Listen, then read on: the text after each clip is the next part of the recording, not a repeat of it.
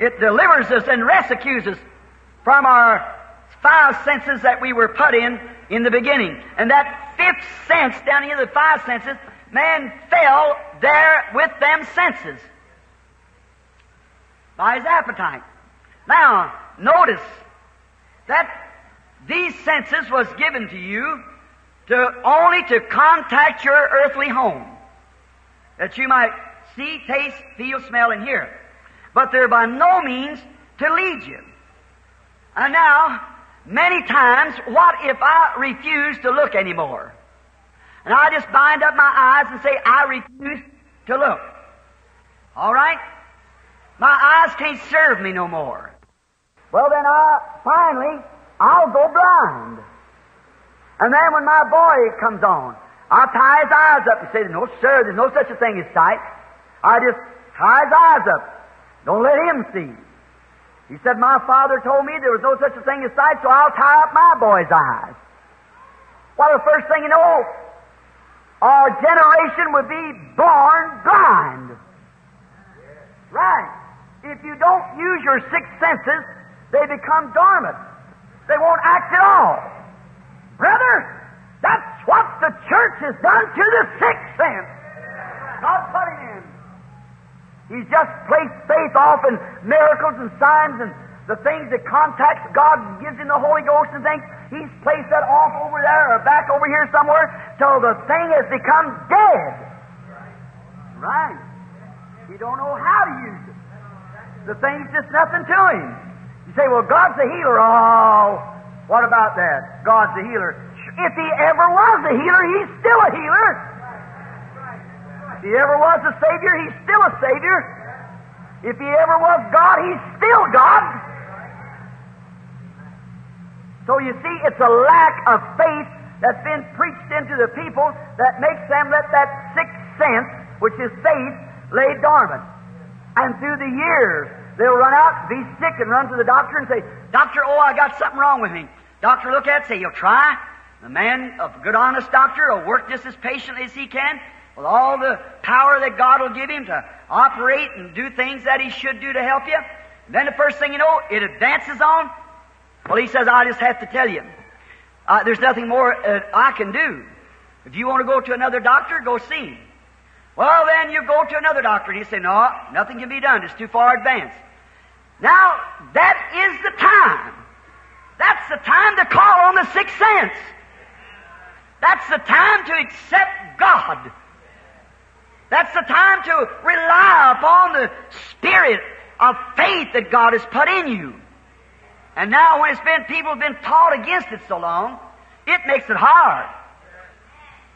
Brother Bose was telling me he said, Brother Branham, I never realized what you bucked against. See? You don't realize what it is. What a hard thing when you bring and the power of God will come right down so real to the people. They can look and see the Spirit moving among the people and doing things. And some will sit there and say, oh, if you just, you do this or do this or do that or something another, maybe it would help me. Oh, brother, if that sixth sense could understand what we've been preaching about this week. Amen. That the Holy Ghost, God made this promise. Christ made the promise. We've it through the scriptures this week, back and forth and back and forth, and combed it over until we know that God promised to do this thing He is doing now in this day. The supernatural. Now, real, genuine faith would see that and catch a hold of it, and all devils out of hell would never shake him away from it. But we stumble at it. It's not used enough. We depend too much on the five, and once, most of the time, the 95% of the people are better. As soon as they see the five senses is finished, well, it's all gone. Dig my grave, get my casket ready. See? Oh, I was thinking of a little woman here I had on interviews a day or two ago. I don't see him here now. A man's name is uh, uh, uh kind of a Dash, Dash or Dash, and his wife. She had a dream, and she come telling me the dream. And she said, Brother Branham, I, I dreamed that the devil come upside of my bed. And he looked over at me and began to make gleaming, funny uh, faces at me. And said, I got you now. And said, I just, something happened to me. And I jumped up out of the bed and said, Get out of here, devil, in the name of Jesus. and started running him, and he run out of the house. And she said, I don't understand what that means. Then the Holy Spirit being present, give the interpretation.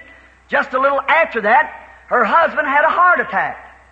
And when she seen her husband fall, and he's an aged man, heavy man, and his hands went back and his eyes set, death come to take him. But God wasn't through with him. And that little woman's faith raised up and said, I won't stand for it. I call for his life in the name of Jesus Christ. He got well. See? Why? That sixth sense rose up. That crucial moment. That time they give her faith. God had given her the dream, though it had not been interpreted to her yet. I said, There's your interpretation. And the little fellow just began screaming and praising God. She said, That's exactly the way it happened. See? That's, now that goes into grace. See? Give her the dream, not even knowing what it was, but God is thankful and loyal anyhow to keep His people posted. If we would only be spiritual and use that sixth sense, we, oh, how many things we could bypass. How many things we'd know if the church was in order, where the spirits and gifts of the church would be operating. We'd have Ananias Sapphira laying all over everywhere. Right. Sin would be out of the church.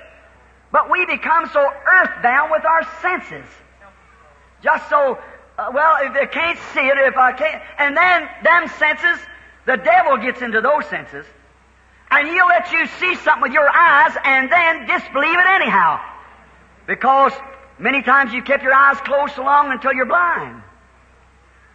A fellow said to me one time, said, smite me blind, smite me blind. Do you believe in divine healing? The same Holy Ghost that Paul preached, smite me blind. I said, I can't do it because you're already blind.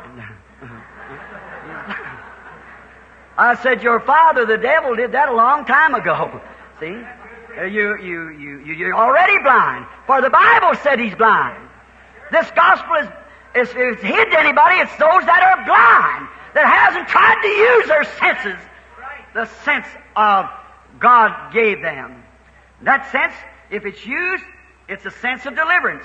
When the other five fail. By this sense, there's been great things done.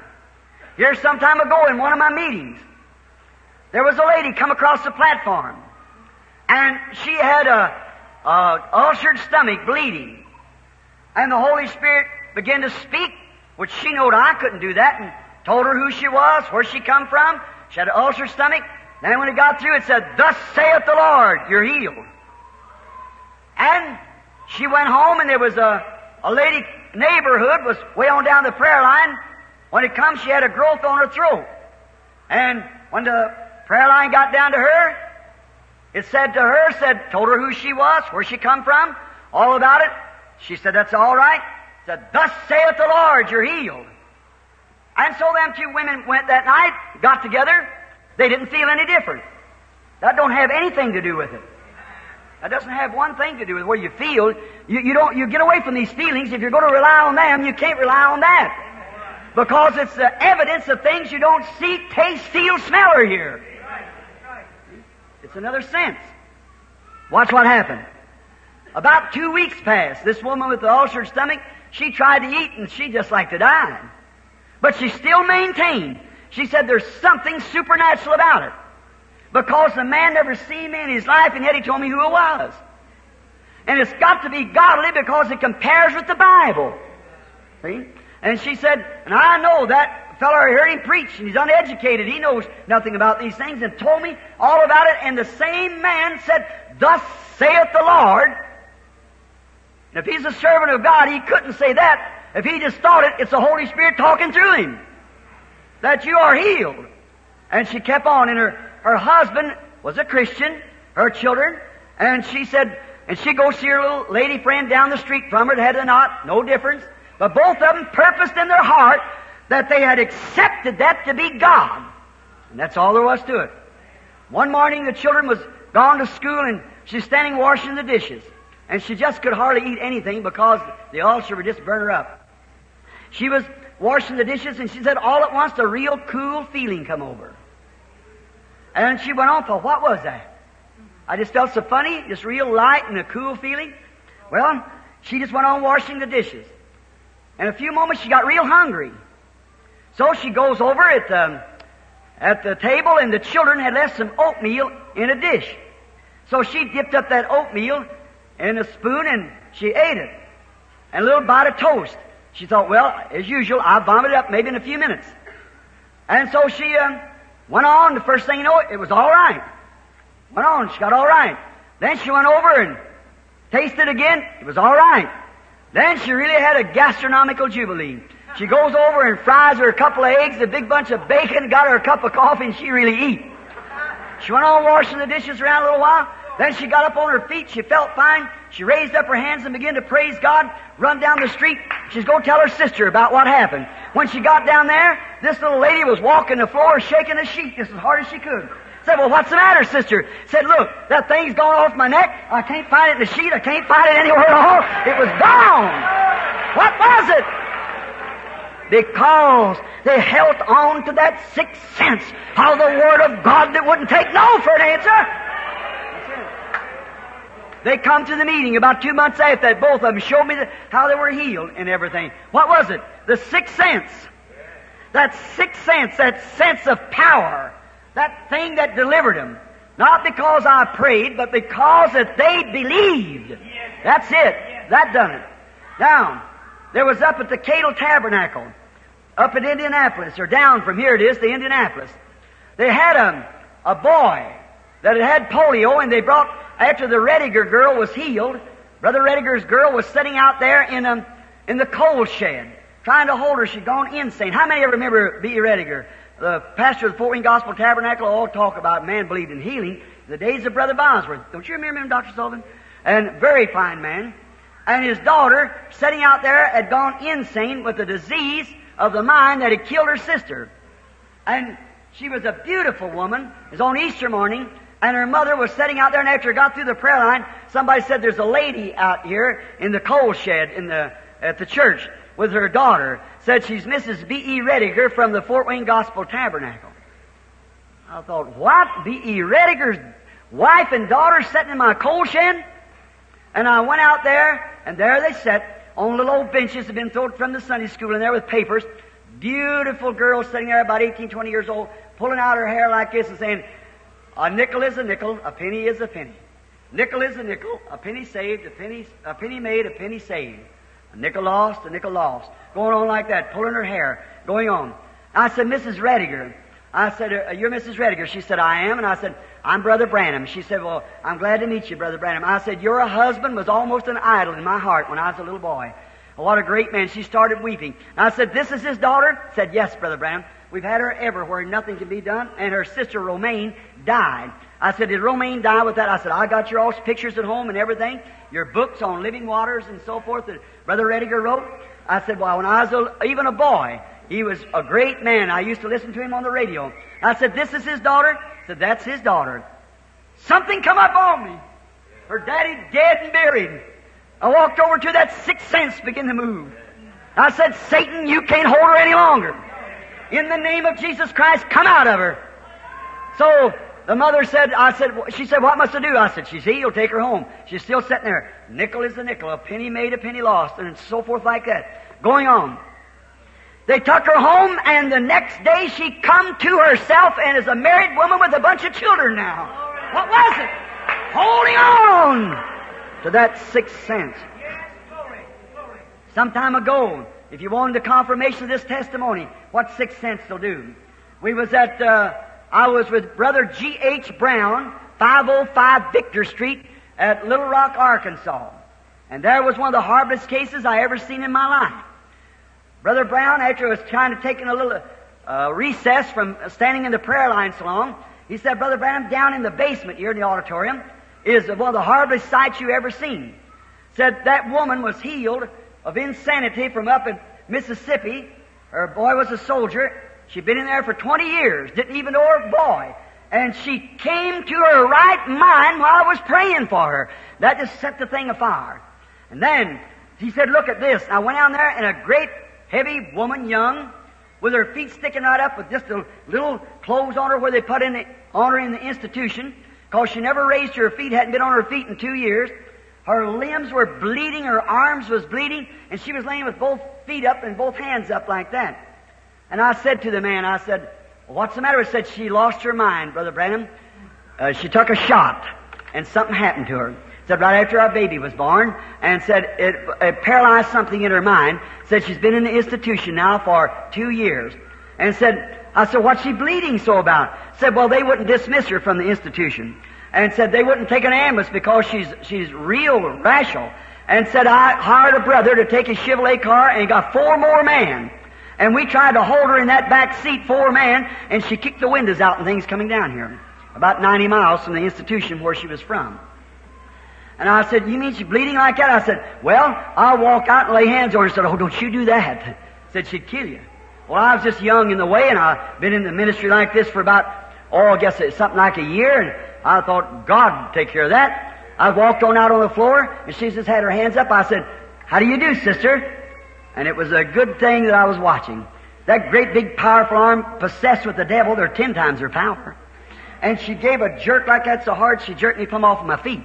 And when she did, my foot hit right across her, her bosom here and jerked my hand loose, and I run from her.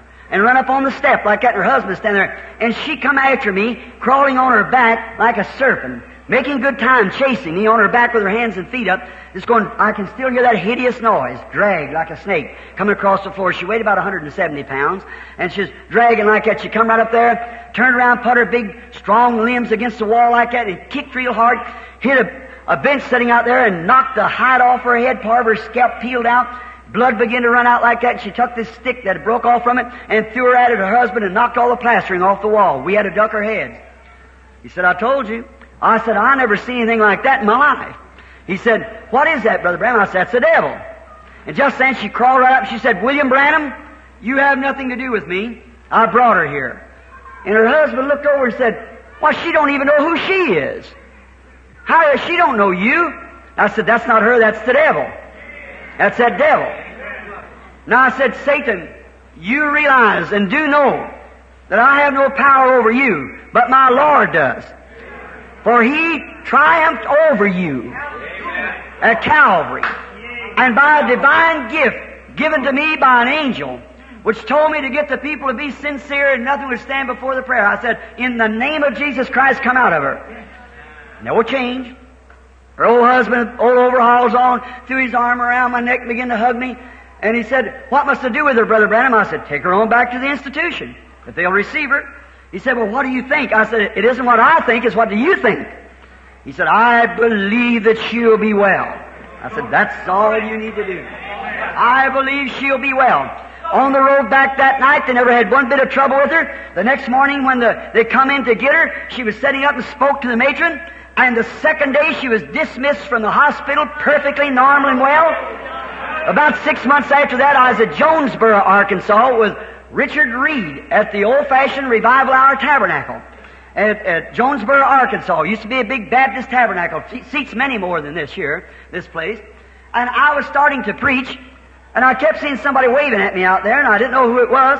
And she just couldn't stand it no longer. She said, You remember me? Had four or five little children. I said, I don't believe I do. She said, I never seen you before either. She said, but I was the woman that was on my back crawling.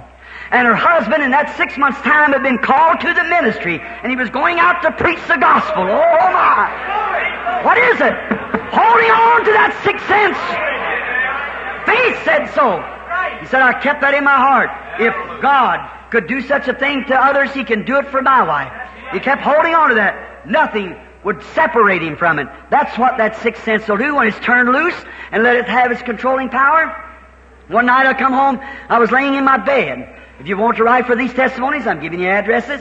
You write to Georgie Carter, Milltown, Indiana, uh, and it'll, it'll go to her. Georgie Carter, Milltown, Indiana. And she belonged to a church that did not believe in divine healing. She was taking piano lessons when she was a little girl, and her uncle was taking her to this, uh, to a piano uh, lesson, and when he did, this man, being a full grown man and her little girl, ravished the child. And when it did, it gave her TB. And she'd been laying nine years and eight months on the flat of her back with TB out of the female glands all through her body and into her lungs. And she approximately weighed 37 pounds, I think, the, what they could weigh her. Now you can just write her if you wish to. It's your privilege. She'll be glad to write back. And I know nothing of the girl, and I didn't even know where Milltown was. And I come in home, and I seen mother, and I said, I'm going to bed early tonight because I want to go in and meditate on the Lord. She said, all right, Billy, just go on in, go to bed. I went in the room and I prayed and praying for a long time, and after a while, I looked over there, and Mama's just one of these old-fashioned country women. Wash her clothes and lay them in a chair. I don't know whether you women ever did that or not, and lay them there till she irons them, stands around barefooted and iron. And uh, so, I, Mama had chairs sitting there and clothes in them. All of us boys in, at home, and I was staying home then after I'd lost my wife a long time, and I looked and looked like that chair was coming toward me. And when I looked, it was that light coming towards me. And when it got right to me, I started like going through a wilderness. Now I could hear something like a little lamb going baa, baa. And I thought, oh, that poor little fellow's hooked up somewhere, and I started through the brush trying to find it. And when I got to a, up close to it, I could listen again. I said, where is it at? I thought, the poor little thing. And I started up close, closer, pulling through the brush, and when it was bang, it was going, Milltown, Milltown. And I was working trying to get to it, and I come out of the vision. I thought, where is Milltown? I thought there's trouble at Milltown. Some lamb is called down there, or up there, or wherever it is. I went out and I asked my church Wednesday night, did they know any place named Milltown? Nobody knowed it. Well, then on Sunday, I asked again, anyone know a place named Milltown? George Wright. Many of my people here from the tabernacle know George Wright.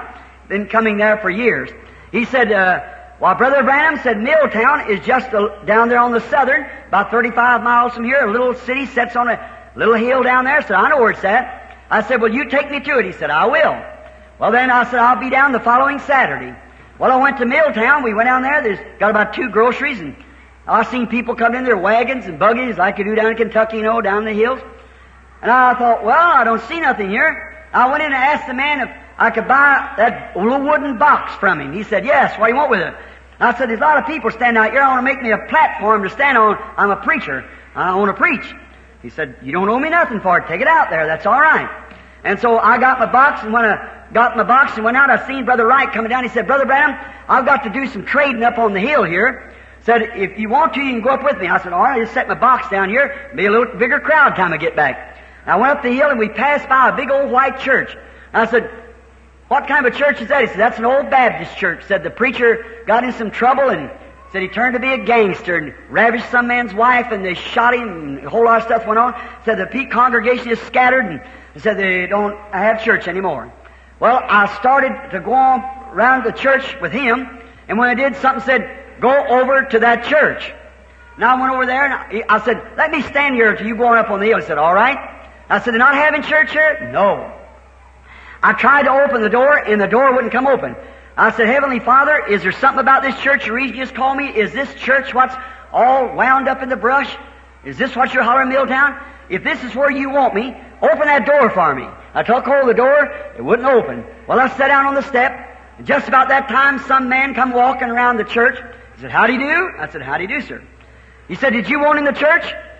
And I said, uh, uh, Yes, sir. He said, I got the key.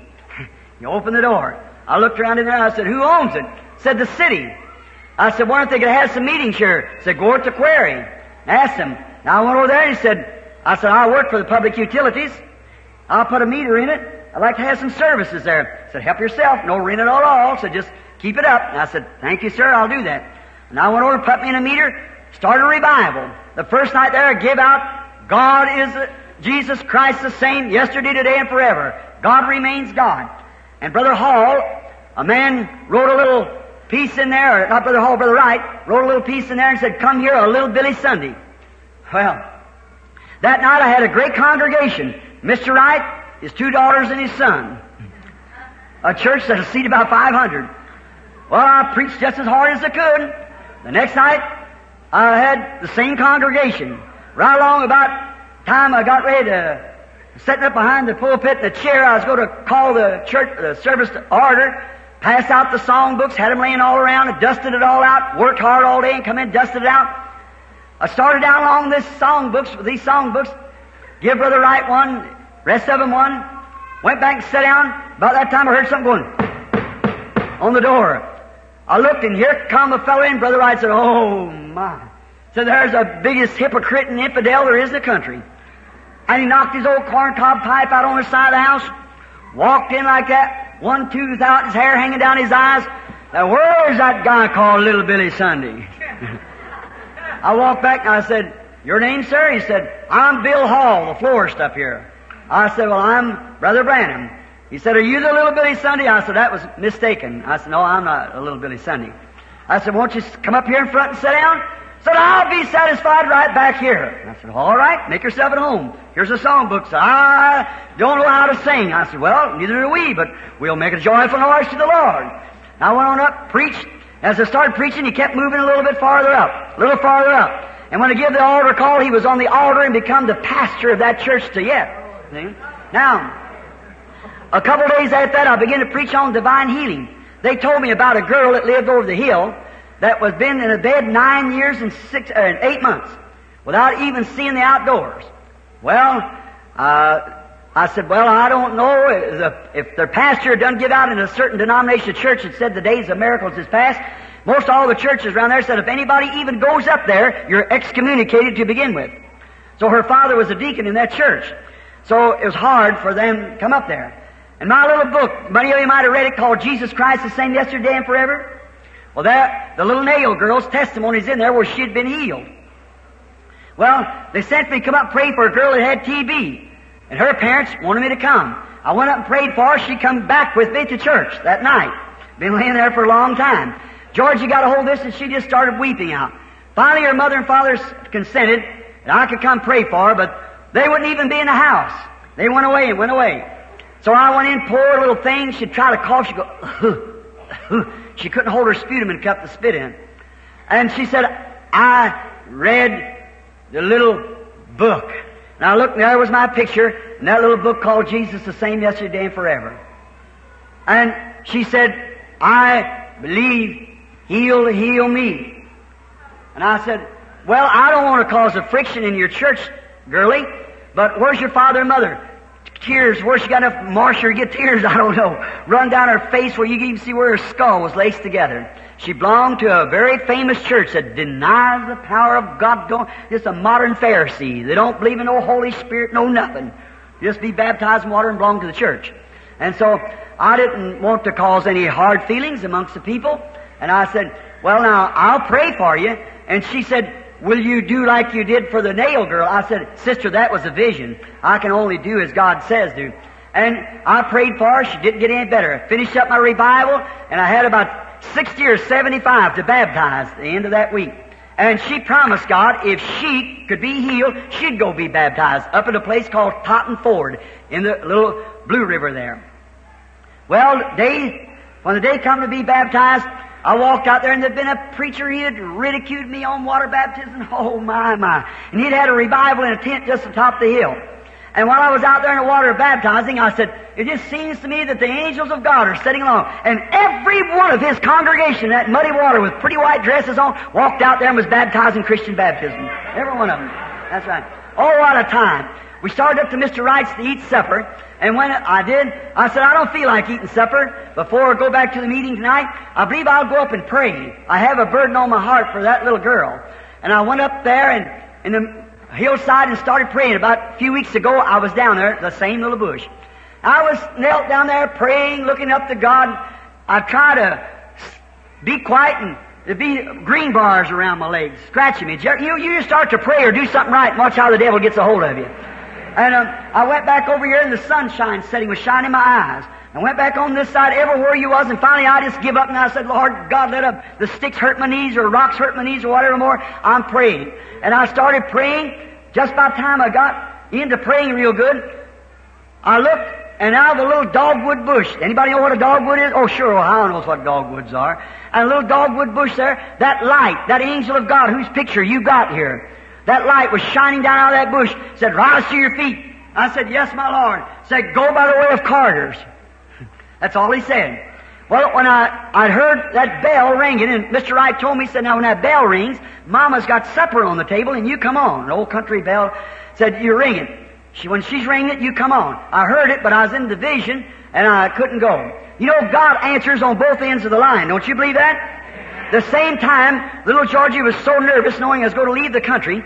She was crying and she wanted to come and be baptized and she'd promised God and she got real restless. And her mother, wonderful woman, and she went out in the kitchen and knelt down and shut the door between her and Georgie. And she said, Oh God of heaven. She said, do something to that low-down impostor that's come through our country here. And the nine years that my poor little girl's laid on that bed, she's never complained one time. And now he's got her all scrupled up in her mind, telling her about a healer or something or another. And said, rebuke that man. Rebuke that man, Lord. She was honest about it. She said, run him out of the country. My poor little girl laying in there dying with not a hope that she can live any longer. And there, laying in there like that, and that impostor getting her all worked up under a false hope. She said, now this is her testimony. I wasn't there. She said she raised up, she thought she heard someone coming. She raised up, her daughter lived up the hill a little ways, and she thought it was her daughter. She looked back, she looked and said on the wall where the sun was going down at the same time I was praying, she seen a shadow coming down the wall. It was Jesus, she said. Said there he's just as pretty as you ever seen with his beard. He said, Why are you weeping? Who's this coming? Said she looked over here and she seen a shadow of me, kind of partly bald headed, packing this here same Bible over my heart, coming walking in with a man following me. And she run in, she said, Georgie, the funniest thing happened. She said, I must have went to sleep. I dreamed a dream. I saw that preacher coming about that time. The door slammed on the car. I was getting out on the outside. Oh, God answers on both ends if you'll just let Him do it. There was Georgie there believing against all the unbelief. She's still holding on that God would make her well. If He could heal one girl, He could heal another. Yes. And she seen me and I walked up under the anointing and never even knocked at the door, just opened the door. Her father was gone up to his barn to get some milk that had just got through milking. And so I walked up, opened the door, walked in there, I, and this woman, the mother, just fainted and fell over the floor. And Georgie was there, and she looked over at me, and I said, Sister Georgie, the Lord Jesus Christ, in whom you love, and there behind the bed, the little poster bed, she'd rubbed all the paint off of it as long as she'd get her hands back that way, holding to that and crying to God for relief. In her church telling her the days of miracles has passed. She was born to be a child of God. And there, she was holding on to that promise. God, by His mercy, showed a vision and sent me down there. There's where it was. I said, I know who you are now. You're that lamb that I saw caught up in this bunch of theology down here. Hallelujah! I said, Georgie, the Lord Jesus, who you love and serve, appeared to me up here on a hill a while ago, and that same light that hung over the nail girl, and he told me to come by this way. I command the devil in the name of Jesus Christ to leave you. I said, rise up on your feet. Satan said, how's she to rise up? Her legs no bigger than a broomstick, hardly. That wasn't a thought. Come out anyhow! And she couldn't even raise her sputum cup and she rose up from that bed under the power of the Holy Ghost, walked across that floor praising God, went out and sat down in the yard and blessed the grass and the leaves and things. She hadn't seen him for nine years. I turned around, walked on away. Her mother raised him again, screaming and falling, and fell across the porch and out into the yard. Neighbors began coming, thinking the girl had died or something. And here she was in the yard, walking around, patting the leaves and blessing God. Her father heard all the noise, so he come down. The other lady's wife out and the people fanned her like that, and he heard the organ playing. And he walked into the house. There was his little daughter sitting at the organ playing. There is a fountain filled with blood drawn from him and. When sinners plunge beneath the flood, lose all their guilty stain. Oh my. She hasn't been in bed no more than to go to sleep. And since that time, that's been 15, 16 years ago. Oh, what was it? Holding on to that sixth sense something on the inside saying if he can heal one, he can heal me. Hallelujah! That's the truth. That's right. Remember up here at Fort Wayne, old John Ryan, not the man with the whiskers, the other blind John Ryan. I was having a meeting up there in a big tabernacle. I'm fixing to close. Go to praying for the sick. This man was sitting up in a balcony. He is Catholic. They brought him along the altar, brought him up on the platform by his card. When he come up, where was that? Said, Your name is John Ryan. That's right. And you're Catholic by faith. He said, That's right. You used to ride in a circus. That's right. Said, and you've been blind now for 20 something years or better. Said, That's right. and some kind of leukemia or something that got into his eyes and running blind. I said, You're a beggar. Uh, and he said, Not exactly a beggar, but said, I sat on the street. And I said, Well, that's all right. I said, Do you uh, believe that Jesus Christ will make you well? He said, I do. I prayed for him, laid hands on him. I said, Lord Jesus, I rebuke this blindness now in the name of Jesus Christ. Let it leave him. I turned around, looked, I see him going walking away with his sight. I said, Thus saith the Lord. You watch for that. Amen. Thus saith the Lord. You've received your sight. Well, he, he said, I can't see. I said, that has nothing to do with it. Go on on your road, rejoicing. So he went down. There's a woman in a few minutes, had a great garter hanging on her throat while I was praying for her. It went away. Here comes John Ryan back, pushing through all the ushers and coming back again. And so the man was helping me in the prayer line. He started putting him off the platform. He said, I want to see that preacher. And so they brought him up there again. He said, he said to me, he said, you told me I was healed. I said, you are. He said, well, if I was healed, I could see. He said, I said, oh no, that has nothing to do with it. You told me, he said, well, you said I was healed. I said, you said you believed me. he said, I do believe you. I said, then what are you doubting about? He said, well, if I was healed, couldn't I see? I said, you will see. When God showed me a vision that you were seeing, it has to happen. He's Catholic, and he's never been taught anything like that. He said, well, I don't understand it. What shall I do? I said, well, the only thing to do is go on your road just praising God for giving you your eyesight. He said, where are you? He started pushing on. I said, wait a minute. He said, what is your name? And I said, Branham. He said, let me feel you. Now he put my hands over. He said, Mr. Branham, as a Catholic, I'm taught to believe my priest. And he said, I've come to you for help. And you told me who I was and all about my conditions, what nobody knows but God. I believe it to be the truth. I'll keep on saying, praise God. Off the platform he went. Well, I couldn't hardly have the service the next two nights.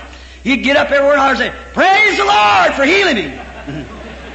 I'd start preaching, he'd raise up over an hour, praise the Lord for healing me. They give him a job selling papers. Nearly a month was gone. Hollering, praise the Lord for healing me. And he's down there and he'd holler, extra, praise the Lord for healing me. They laughed at him. They made fun of him. Little newsboys hissed at him. People on the street said, that old man's lost his mind. And he said, extra, extra, read all about it. Praise the Lord for healing me. Extra, read all about it. Praise the Lord for healing me. All right. They took him and they thought they was going to send him to the insane institution. And they questioned him. He said, I'm just as normal in my mind as I ever was, but I believe God. Praise the Lord for healing me. All like that. That wasn't, he's holding on to that sixth sense of the end holding that. He wasn't paying attention where he could see that sight had nothing to do with it. He was seeing with another sight. He's seeing God. Yes. We look at things we don't see. All the Christian armor is by faith. He that cometh to God must believe that he is.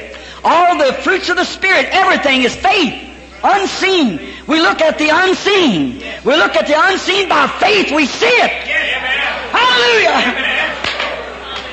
A little boy led him across the street to get a shave in a barber shop. And some little smart aleck barber wanted to make some fun out of him. So he lathered up his face right good, and other barbers winked his eyes at him like that. He said, uh, got shaved and got about half side down, had towel laying up there, you know, and he said, Say, Papa Ryan. He said, Yes, son. He said, I heard you going to see the Holy Roller when he was up here. Yeah, I did, he said. he said, um, I heard that uh, you got healed. He said, Yes, I did. Praise the Lord for healing me. And when he did that, his eyes come open in the barber chair. Out of that cherry jump with a towel around his neck. The barber around the door with a razor in his hand. Down the street went old man Ryan just as hard as he could go, screaming and shouting, Praise the Lord, he has healed me. What was it? Holding on. That's sixth sense. That's something that makes it real. Yes, sir. Through this sixth sense has subdued kingdoms. Amen. The sixth sense subdued kingdoms. Through that sixth sense, the walls of Jericho fell flat to the ground. Amen. You believe that? The walls of Jericho hit the ground through the sixth sense. Through the sixth sense, the sea could not drown Paul. When he went down there when all hopes is gone, he saw a vision of the angel of the Lord. He come back up saying, Be of a good courage. What was the matter? No moon and stars for 14 days and nights. It's just as black as it ever was. The storm was just as great as it ever was. But that sixth sense went to work when he seen the angel of the Lord. Amen. Hallelujah. That sixth sense could not keep Peter in jail. No, sir. The power of God sent an angel in there and delivered him. The sixth sense cannot keep Paul and Silas in stocks. God sent an earthquake and shut the whole thing down. That's sixth sense. Let it go to work for you sometime. Because of that sixth sense, the lions couldn't even eat Daniel. They couldn't fool that sixth sense. No, sir. But that sixth sense of fire couldn't burn the Hebrew children up.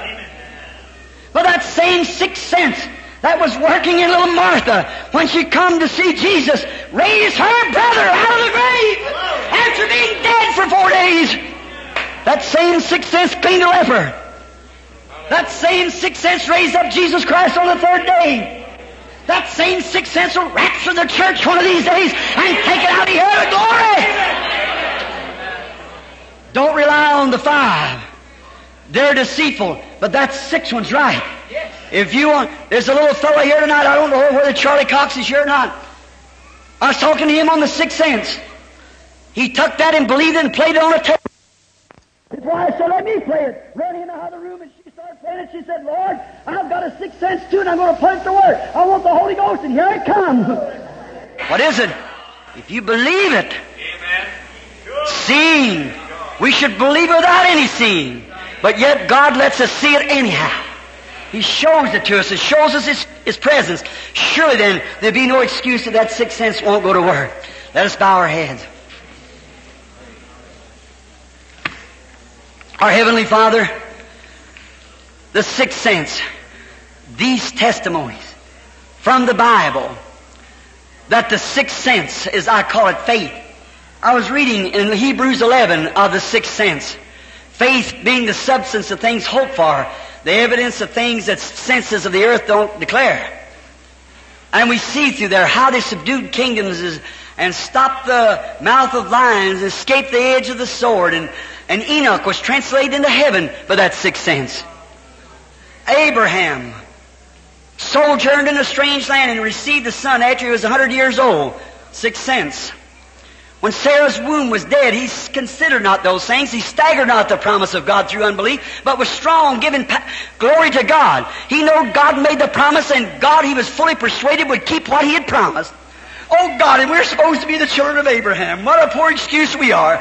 Oh God, wake up the sixth sense in this church amongst these people tonight. When we see that you gave that great sign to Abraham. There, what taken place? God, I pray that they'll see the angel of the Lord's presence tonight and will rely not upon their feeling, upon their sight, but upon the Word of God that made the promise. And every person in here will be healed. And everyone is unsaved will be saved, and all without the Holy Ghost will receive it. Hear me, Father, I pray in Jesus' name. Amen. Are you ready to receive your healing? All of you? You, you go put your sixth sense to work. What is the sixth sense now? Is faith.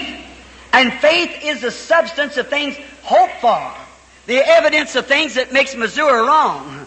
I'm from Missouri, you have to show me, you know. Got to see it. Faith is that thing that subdues kingdoms, that brought righteousness, that does all kinds of miracles and signs of that sixth sense. Wake it up. Take the bandage off your spiritual eyes. Look around see if you can't see that God still remains God. All right. All of us got prayer cards. Line up over here to my right according to your number. Prayer card one, two, three, four. Stand up. One, two, three, four, five, six, seven, eight, nine, ten. Just come right this way now to this side. Yeah. Mm-hmm. Um, that's fine. Bring the your Uh, so the people can get around. That's fine. Drop them right down in here if you will. All right. Five, six, seven, eight, nine, ten. 11, 12, 13, 14, 15, 16.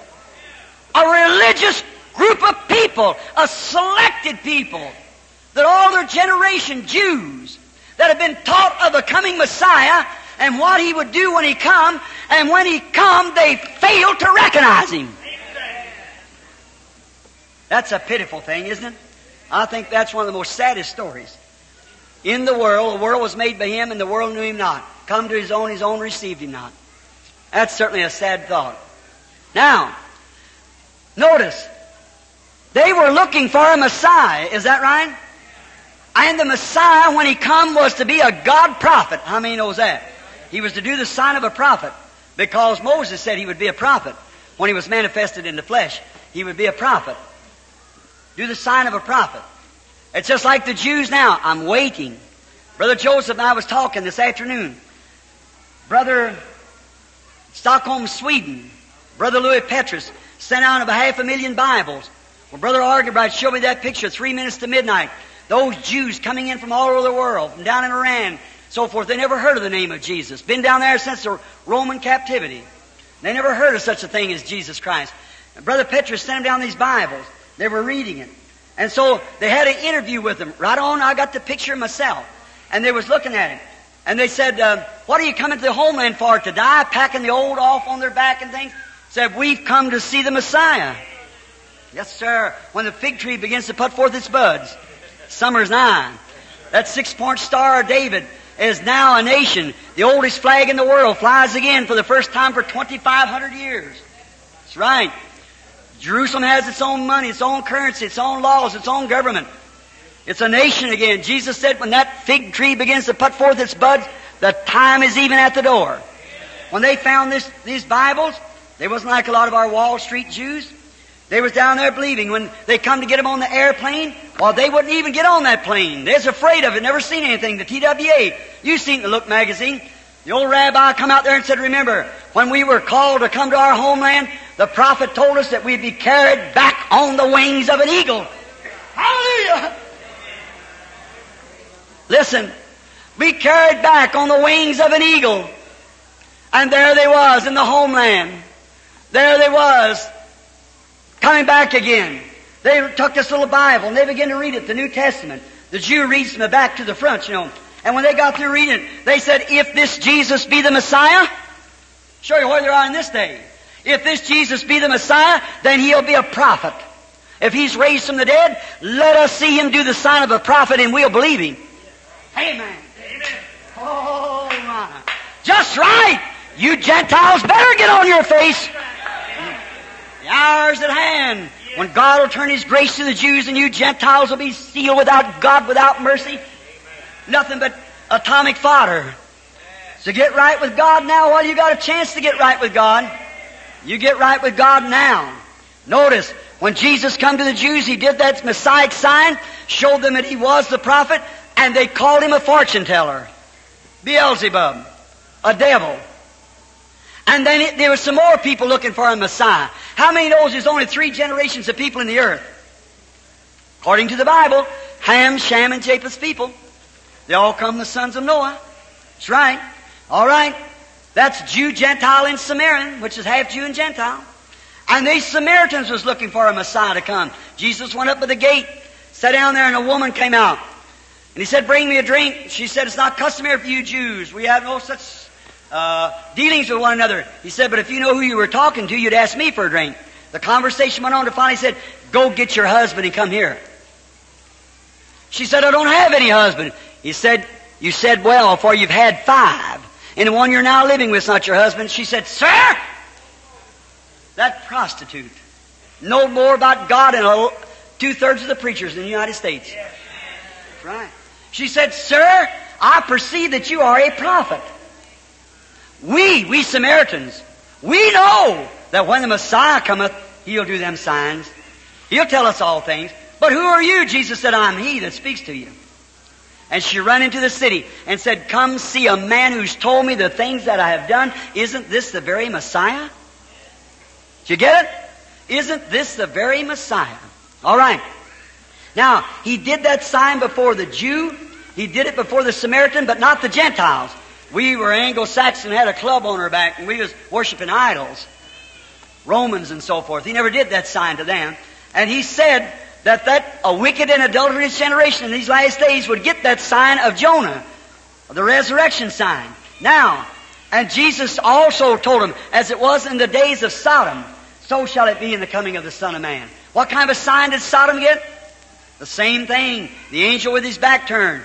Eh, eh, eh, are they all your people there, Billy? Everybody? All right. He said, um, how many here now that does not have a prayer card and you want God to heal you? Raise up your hand. Say, I, I want God to heal me. Now, if he's any more prayer cards, it's got a card. Get in the line. Now, if not, why you, we're going to catch you anyhow. Uh, you don't, you're not, I want you to find, if you can only take what I said tonight, that's sixth sense. Believe with all your heart. Now, many of you send these handkerchiefs up. I'm praying over them, every one, trying my best to get to them. Now, if I miss you, just write me at Jeffersonville, Indiana. I'll send you one. See, I'll send it to you through the mail. If you miss it or miss your handkerchief somewhere, gets lost, just write me. It don't cost you a penny. Just write. We, of course, sometimes some people send a little money along because we spend hundreds of dollars a week on stamps and things to send us uh, handkerchiefs around the world with all kinds of miracles and things of signs returning back from them because it reaches more than I can reach. But now look, I suppose that 95% of the people, I know I've got some people here from Jeffersonville, but I don't see any of them in the prayer line. And if they was, I asked them nicely to get out. That's right, because I can see them down home. This is for people that's up here. People that can't get in any other time. Now, here stands a lady. If I could heal that woman, I would be a, a, a, a rascal if I didn't do it. If I could do it. I wouldn't be fit to stand behind this pulpit, Brother Sullivan, if I could heal her. But I can't heal her. She's already healed. If she's sick, I don't know if she's sick. But if she is, Jesus healed her when He died at Calvary. He made a propitiation for that. He was wounded for our transgressions. With His stripes, we were healed. Is that right? Now, these people that they pushed up here in the wheelchairs, I want you to look.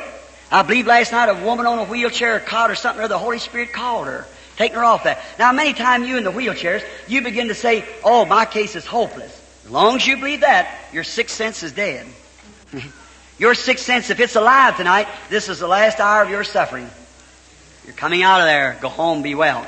The man and woman standing here, the colored brother and sister, their little boy. Do you believe tonight? You have faith, my brother. You have faith, sister. The little fellow's too little to know what faith is. You believe that God will heal your child. The lady standing here is this little boy here. You have faith. All of you standing around these wheelchairs, I want you to have faith for those people. And you out there, some of you with heart trouble, go to die in a few days. Cancer. If something isn't done, you're going to die. These people may live an ordinary lifetime here, crippled. But if you don't get a hold of God right away, you're going to die. Yes, sir. But you get a hold of God and say, God, I'm using my sixth sense. I believe. And I believe that you're going to make me well. And then God will do that. Don't you believe that? I believe with all my heart. Now, I'm not going to use the line of discernment. I couldn't get that 50 through here. I couldn't do it. But I'm going to pray. Now, if God still remains God, if God is still God, then He can do all things just the way He. What is the highest form of, of faith? There was a Roman one, a Jew said, Come lay your hands on my daughter, she'll get well. The Roman said, I'm not worthy, just say the word. That's what the Gentiles are supposed to do. And meetings across the sea in different places, they can see one supernatural thing take place. The whole audience will just walk out by faith. See? They'll believe it. But here it's so hard. Now you're a Pentecostal people. You may be Methodist, but if you've got the Holy Ghost, you're Pentecost. Now, if you've got that sixth sense ready to be made alive, let's make it.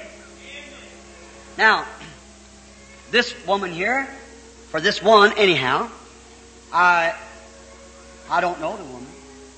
I guess we're strangers to one another. Now here, here's a woman.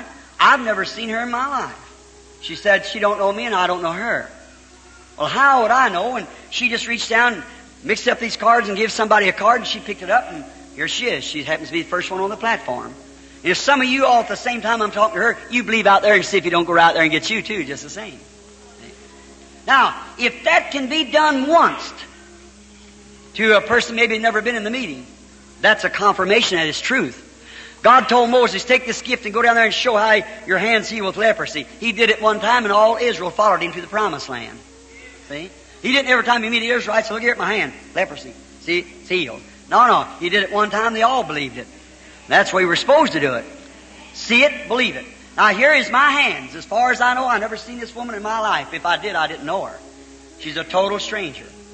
But if the Holy Spirit can come to me and tell me what she's standing here for, or uh, something that she's done, or something she's planning on doing, or maybe something that she knows that I know nothing about, that would be a confirmation that he's still the same Jesus that talked to the woman at the well. That would be proving to this Gentile generation that that Messiah, who once lived in a pillar of fire in the fatherhood, dwelled in a human body called the Son in the sonship, and now in the Holy Ghost in you and I through the sanctification through the blood, dwelling in our bodies. The Holy Ghost dwelling in us. He that believeth on me, the works that I do shall he do also. Verily I say unto you, the Son can do nothing in himself but what he sees the Father doing. You believe that? Now, I want to ask you in the wheelchairs. Now, if I could heal this woman, I would do it. If I could heal you, I'd do it. I can't. But if the Lord God, being she's close to me, if the Lord God will tell me something about that woman, let her be the judge whether it's right or not.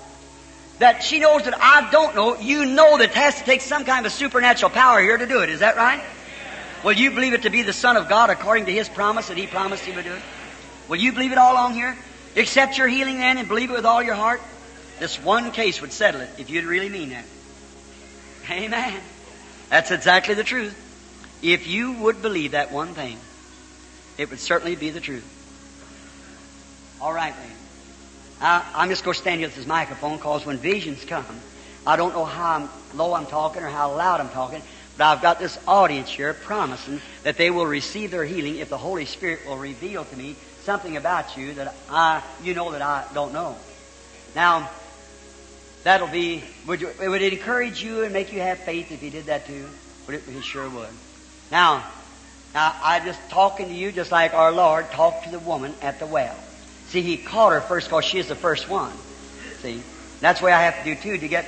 See, you are a human being. You have a spirit. You have a soul. I'm a human being. I have a spirit and a soul. I know now that you're a Christian because as your spirit begins to witness to me that you are a Christian. That's right. This feels welcome. If you was, it'd be pushing away. Was you ever in one of the meetings and see these things done? You've seen them done. You ever notice when sinners come and things, see how it pushes away from them like that? Just right now, it'll tell them, you're a sinner, you do so and so, you do such and such. See? Now, if you believe with all your heart, all that's in you, God will be able to tell me what your trouble is or something about it. Then you're going to receive it. And then that'll make all of them believe. These crippled people said they'd believe. The sick people, the heart trouble and things said they'd believe. So then everybody believe and the whole line would believe down there. Be no use bringing the prayer line through. Everybody really want to use that sixth sense and just go on and say, thank the Lord. He heals me. That's his attitude towards every one of them. You just have to be one who's drawn up here. There's many, many more all out through there. Probably the Holy Spirit might after a while go over the whole audience. I don't know what he'll do. Then when I get real weak, my son or some of them there, Gene or some of them, they'll come touch me on the side. I know it's, I got to quit then, see, because I don't, you don't know where you're at sometimes. After so many visions, it looks like everything's a vision, man, see. Jesus said, more than this shall you do, for I go to my Father, the things you've seen. Now, I see what's the matter with the woman. She's come here for prayer, and the prayer is for a little growth. And the growth is on the arm. That's right, isn't it? Now, do you believe? Now, the growth is hid from me, but not from God. I tell you what arm it's on, the right. That's, is that right? Raise up your hand if that's true. Now, do you believe with all your heart? Now, does that sixth sense do something to you? Or you just blind it over and say, well, that's pretty good? or does that sixth sense really go to work? Say, praise God. I know that that man don't know that woman. Now, only Jesus Christ will know her, and He promised He'd do that. that means that you're going to be well then, if you can believe it. You say maybe you guess what you had. I couldn't guess that. no guessing to that. Perhaps I'll tell you another thing. You're not from here. You're from Lima. That's right. You believe God can tell me who you are? Miss White. Mrs. White. That's true. God will heal you now. Go home and believe it with all your heart. Now, do you believe? Every one of you? Have faith in God. If you can believe, all things are possible to them that believe. If thou canst believe, Now, what if I told you you was healed sitting in a chair? Would you believe me? Let's go on your road then, because you are. Have faith in God. Now, what if I put my hands on you and said, Satan, get away from this boy? Would you believe it? Would you get well? Come here. Satan, leave this boy in Jesus' name. Amen. Go believe him. Have faith. What if I laid hands on you and said, Satan, depart from him? Would you believe it? Satan, depart from him in Jesus' name. Amen. God bless you. Go believe it. If I told you what was wrong with you, would it help you, or would you rather I just lay hands on you? Which would? Me tell you what's wrong with you? In your back. That's right. Is that right? Then go home. Healed in Jesus' name. All right. You believe if I just say something to you, lay hands on you, it would make you well? Come here then. In the name of Jesus, may she be healed. Amen. Believe. All right. What about you? I believe I know you. That's right. I'll just lay hands on you and say, Satan, leave my brother in Jesus Christ's name. Amen. Believe now, brother. Go with all your heart. You believe all of you? Well, listen. Here's what I can't get. See?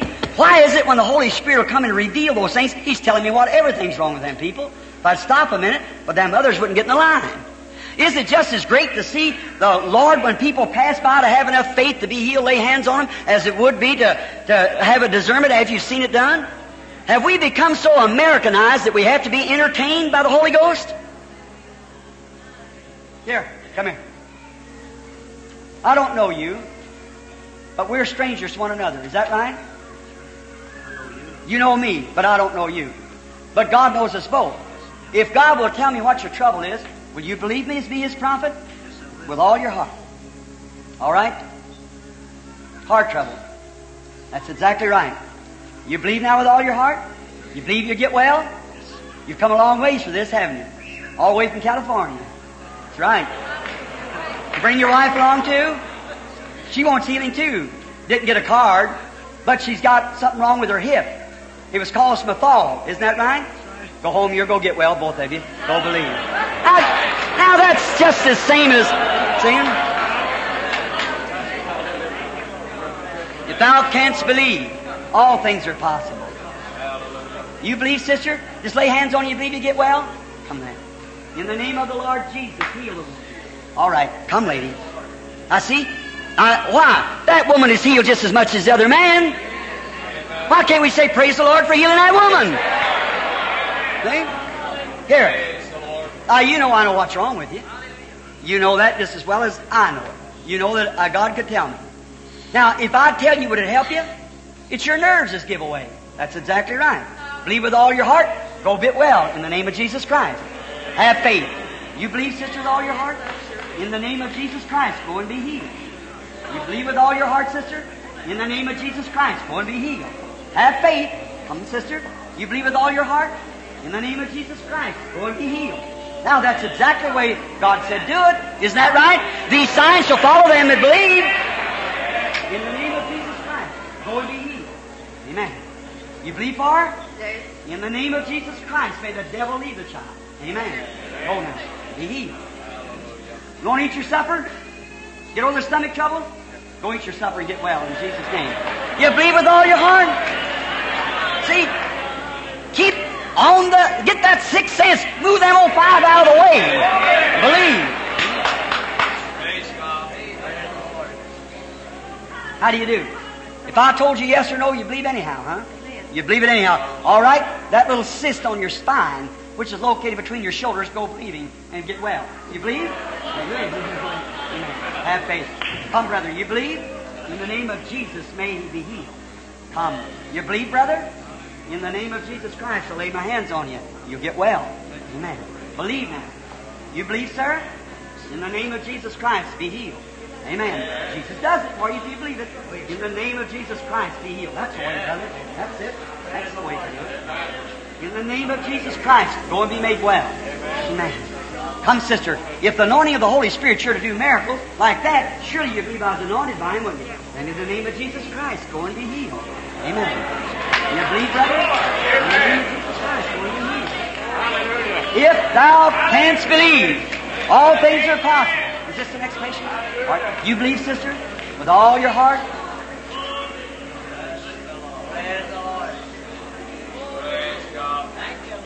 That's it. Amen. She really got it. I just watched she had a shadow over and went, went, I wonder what happened to it. Turn around, now it's gone because she believed it. See? That's it. I don't know you. You don't know me. We're strangers one another. But God knows you, and He knows I'm here to help you if I can. You believe that? Just a minute, something happened in the audience. Somewhere, somewhere. That's it. Start believing out there. Well, your trouble's in your back. That's right, you got back trouble. Miss Finhofer, go home and be well. Come believing with all your heart. Do you believe, sir? In the name of Jesus Christ, go and be made well. Come. Now, if I told you what was wrong or didn't tell you or whatever more, would you believe anyhow? Then your female tr- female trouble's done left you. Go ahead and set it. All right? You believe that God's going to heal your nervousness? All right, go on and be well in the name of Jesus. Believe with all your heart. You want to get over stomach trouble? All right, go eat your supper and be made well in the name of the Lord Jesus. You believe with all your heart? All right, you believe. In the name of Jesus Christ, go and be made well. Right, believe this little boy can get over this trouble? I curse the devil that done this to this child. May he be healed in the name of Jesus Christ. Amen. Take him now. Don't doubt. Watch what happens to him if you can believe. You believe with all your heart? In the name of Jesus Christ, may you be healed. There's a healing keeps coming from over here.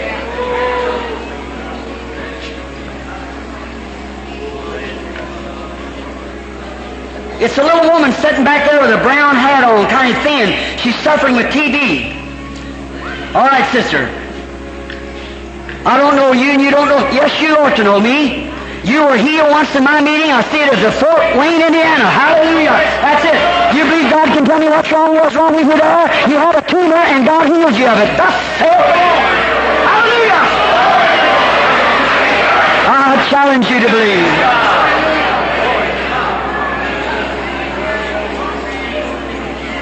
There's so many believing. Have faith in God. You believe, sister? In Jesus' name, go and be made well for the glory of God. You believe, brother? In the name of Jesus Christ, go and be made well. You believe, brother? In the name of Jesus Christ, go and be made well. You believe, sister? In the name of Jesus, go and be made well. You believe, brother? In Jesus' name, go and be made well.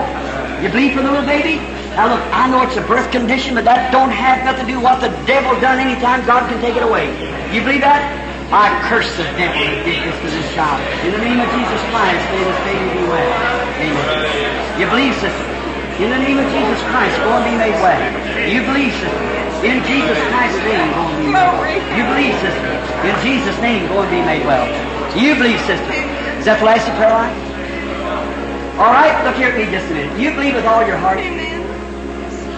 If God can tell me what your trouble is, you believe it? One thing, it's your eye. Going bad? Right? That's not the main thing.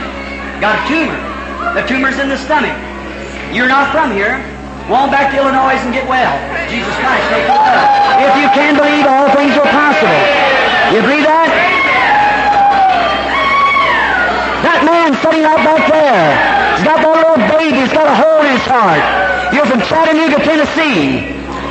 Mr. Kirkline, go home and believe that baby's heart will heal up. Hallelujah! That's the power of our God. Have faith in God.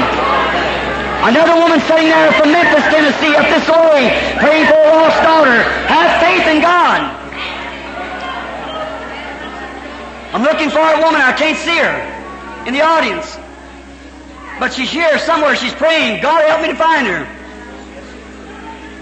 Somebody with faith. Got heart trouble and diabetes. Her name is Mrs. Wells. Have faith in God. Somewhere I can't. All right. All right, sister. Your faith has saved you. Besides that, heart trouble runs in your family. You don't have a prayer card, do you? Because you know, because all prayer cards are up. Heart trouble runs in your family. You got a brother's got heart trouble. That brother's not here. That brother lives in Baltimore, Maryland. And he's also unsaved because he's shadowed with a dark shadow. That's thus saith the Lord. Do you believe with all your heart? Is that sixth sense going to work on you? Put your hands over on one another right here. Oh God, creator of heavens and earth, send thy Holy Spirit at this time and heal every person in divine presence through Jesus Christ's name. You believe it? How many in here that wants to know Jesus as your Savior? Stand up on your feet. You're close to Him. God bless you. God bless you. That's right. Wonderful. How many wants the Holy Ghost? Stand on your feet. Wants the baptism of the Holy Ghost? Stand on your feet, every one of you. It's too many out here to get you now. Fire right off in this room so we can meet you over here. In Jesus' name. If you'll come with sincerity, you'll be filled with the Holy Ghost, saved of all your sins. Go into the room tonight. This is the time. Move over this way to the room. All that's here that believes in God wants to be saved and filled with the Holy Ghost, move right out of this room so we can minister to you. If there's anybody here from my church down at Jeffersonville that hasn't received the Holy Ghost as yet, Brother Collins and all of them has got the Holy Ghost since they've been here. Oh, they've tore up the country. Come around. This is the time for you to receive it right now. Go in. Don't you come out of there till you got the Holy Ghost. Come now. All sinners, go in here and seek God for salvation. That's the way. I challenge every man and every woman that's in divine presence that's sick, anything wrong with you, I challenge you to believe the Lord Jesus Christ while I pray for you. Will you do it? How many will promise they'll do it? If God can give me power here to discern spirits, I'm telling you I can't heal you. You're already healed. Jesus healed you when He died for you. Let that sixth sense don't become numb. Put it to work now and believe it. What about all you people here in these wheelchairs? You believe it? Then let us raise our hands to God. Oh Lord God, let not this message pass in vain. Let not the power of God go to waste here tonight. But may God of heaven send down power of conviction and heal every person. May the devil leave everybody with cancer, heart trouble, crippled, leukemia, any kind of disease. I challenge it by a gift ministered by an angel sent in the sufferings of Jesus Christ to heal the sick and the afflicted. Come out of them, Satan. I charge thee in the name of Jesus Christ to come out of them. Now, all that accepts Christ as their healer, I don't care what's wrong with you. It doesn't make one bit of difference. If you believe God, raise up and accept it in the name of Jesus Christ. That's the way. Amen. God bless you. That's it. That's perfect. Perfect. God bless you. Sullivan.